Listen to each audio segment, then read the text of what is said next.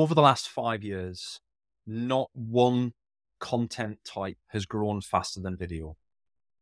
It's everywhere. Um, and the fact that you can consume micro topics, consume micro learning from videos makes it the best form. Um, other than getting in front of people, other than getting in front of people, because to be mm physically present with people, it's perfect. Well, we, that's not efficient. It's not scalable. And most people don't want it anymore these days. You know, people are quite happy to have virtual meetings and do things that way.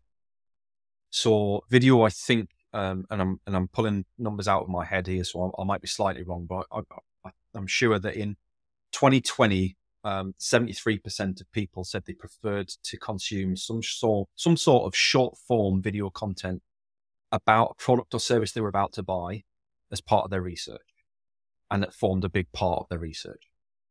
In 2023, that's that's increased over to 82% or more. So there is no better wow. way of reaching your audience and helping convey your expertise, your brand authority, the position of your product or service, and more importantly than anything else, your personal credibility and, and enthusiasm.